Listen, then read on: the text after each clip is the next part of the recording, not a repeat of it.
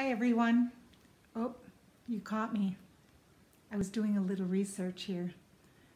And if you have seen these characters before, you probably know what I'm researching. so, um, it is you guys that told me about the video game called Among Us. And um, you were drawing characters that were in the game and so I was looking at all of the different options for drawing these little characters. Um, and they look like the game, it looks like the game is a lot of fun. I don't know a lot about the game, but I do know that um, it's kind of like a whodunit game.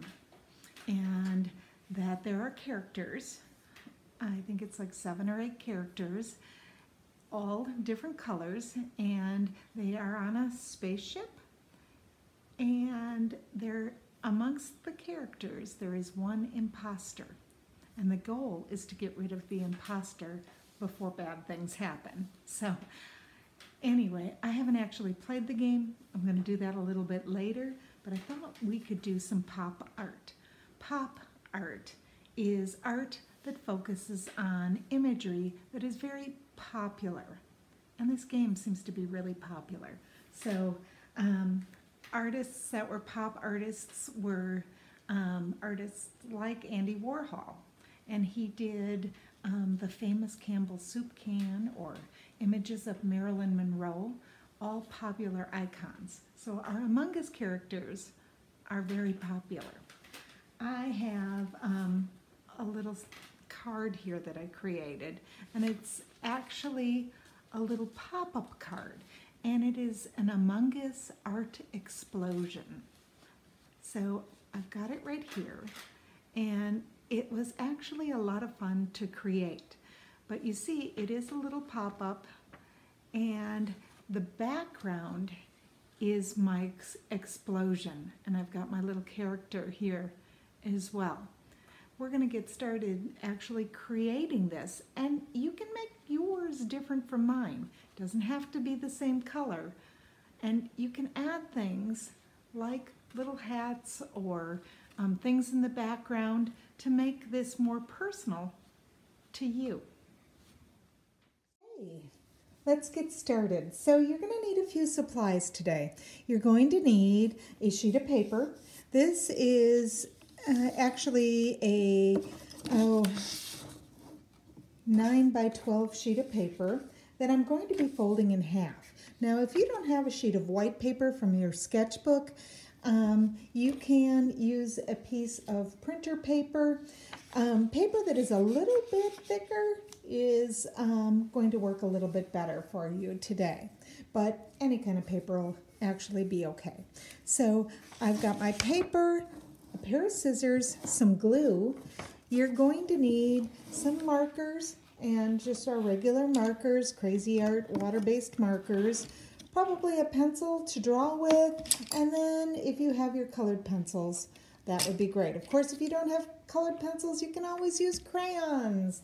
Um, those will work as well. So I'm going to clear my work surface here, and I'm going to start with my 9 by 12 sheet of paper. Now, I'm going to take it and I'm going to fold mine in half. And I'm just going to crease it here. And once I do that, I'm going to take my scissors and I'm going to cut this in half. I don't want such a large piece of paper because I'm actually kind of making a card. So I'm going to cut this in half. So I have a, oh, this would be about a six by nine sheet of paper. So I've got my um, paper here, and then I'm going to fold it. And I would, in class, call this hamburger, hamburger style. So I'm folding my paper, and it'll look like this. Now, I'm going to rotate it here, and I'm going to make two marks. And you don't have to, uh, I'm just going to take and I'm just going to do a mark here and a mark here. It's hard to see. But I'm going to take this, I'm to take my scissors, and I'm going to snip here and snip here. Now, I'm going to open this up, and I'm actually making the base of my pop-up card. So I'm going to take this here, I'm going to stick my finger under here, and I'm going to fold it the opposite direction, kind of like this. And now I'm going to bring this down and fold it like this. And crease this here.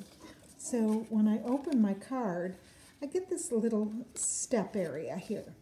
So this is what I'm going to be gluing my Among Us character to. So if you make it too small, I'm looking at this, I'm thinking mm, that might be a little bit small. But I'm going to leave it for now. So now, once I get this part done, I'm going to flatten my card and I'm going to create my art explosion. Now you can do any kind of background that you want, but um, if you're on a spaceship and there is an abstract art explosion, it's going to be kind of fun. So I've got my colored markers here and I'm just going to kind of make it look like there's art all over this page. So I am going to just make some marks on my paper. Here we go. And kind of fill in my areas here. Oh, I love purple. So let's see. If I go some da da dashed lines coming up. Hmm, kind of down here. And I'm just kind of filling in my space with lots of color. And I want to make some kind of amoeba-like shapes. And there we go, color those in. Now you can use any medium you want for this. So if your markers, oh my orange marker is starting to run out. Eh, your markers aren't working or you don't have a lot of markers with the colors that you want, certainly you know, go for it and use something else. Use your crayons. This part is just meant to kind of explode off your page. I don't know, let's, oh, this is kind of neat here. Let's see if I go kind of some swirly lines in here with abstract art. Abstract art is more about the way something feels. I want this to be vibrant and exciting um, than the way something looks. So by using a lot of color, I hope I'm inviting you to feel excited about this project. Let's see, let's see. Oh, what if I do a tornado-y type thing here? And another one here. I like to balance my color. And so I've got two over here. I'm going to put another smaller one over here. And by balancing everything out, I feel like it's, it's better. I'm more of a balanced person. Does your art always have to be balanced? No, of course not. Probably contaminating my marker here. Okay, I think that's about it. I think I've got it pretty well done now. I've uh, covered in, or got most of my page colored in with a lot of vibrant and exciting shapes and lines. Now I'm going to add some details. So I cut my paper in half and I think I want to add some words up here. But I'm going to do it in that really fun pop art style where you take um, your color, and I think I'm going to use yellow again, and I'm going to create a shape that houses a word. So my shape is going to look like this, kind of like that exploding shape. And I'm going to put a word in there. And I always think of Batman when they had the old time Batman show where they had the words that go kapow, boom, um, zowie, all those words. So I'm going to add this little shape here. And then in this shape, I'm going to put my word. Now I think I put kapow on the last one that I did. So this time, I think I'm going to write the word boom. So B, O, O, M, exclaim. There we go. Eh, there we have it. Now I'm going to cut that out. Need to draw my Among Us character. And I'm going to go um, and draw this with you. I've got, this is my example. I'm going to just draw that little basic shape. And these were fairly easy to do. I'm going to start with pencil. And if you need to use a different sheet of paper, you can. But I seem to have enough room on this sheet of paper, so I'm just going to use it. You know how I don't like wasting paper. So right now, I think the first thing that they have is that little space shield thing, and it's kind of a oval type shape. And if you make a mistake and you're using pencil, you can always erase it, and that's the beauty of using pencil. So I've got my shape here, and then it comes up. It looks like that shield is sticking out just a little bit. It comes up, over, and down. These are really fun to make. I think I'm making mine too big. Hmm, well, I might be able to make it a little smaller, kind of like that. I want to come back up here. This leg looks skinnier than this one, doesn't it? So, right like that. Okay, now on the back, it seems like he has like a little jetpack thing. It just goes like that, and there's a little thing that goes there. So that's my basic shape. Um, now there's a lot of shading involved in this in making these little characters. I think I am going to take my marker and shade around here with my blue. And I say shade, but I want this to be a darker blue. And I'm going to use colored pencils as well on mine. So I've got this, kind of like that. And now um, the color of my character.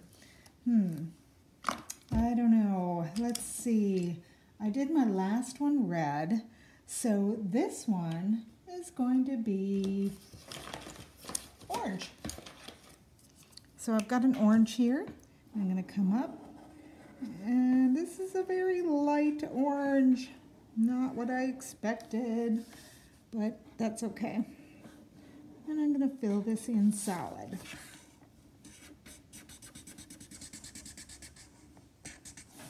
This is almost kind of a peachy orange.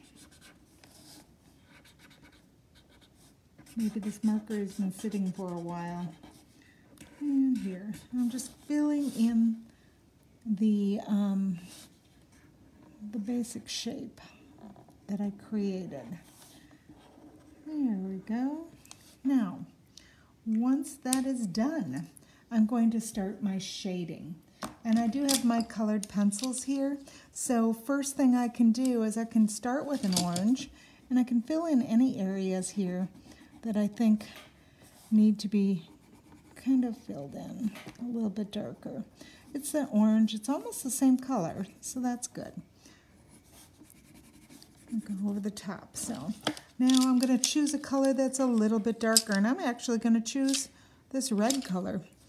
And let's see. And that pencil's not working very well for me. Let's see if this one is sharp enough. Nope apparently I selected some really crummy colored pencils. Oh well, that's okay. Let's see. This one is my ebony pencil. I'm going to have to go straight to the darker color. But I'm going to start to shade. And they are shaded at the bottom here. Right here. Kind of like that. Now he's got a belly area that is shaded. So he's actually going to be darker almost all the way. And I'm doing this very lightly. Come up here and I want it to make him look rounded. So I'm coming here. Oh. Maybe it was just going over. I guess those colored pencils weren't so crummy. I think it's just the marker that I'm going over that's giving me a little bit of grief. I'm going to shade over here on that tank. And come down. I want to leave it lighter here. And kind of like this.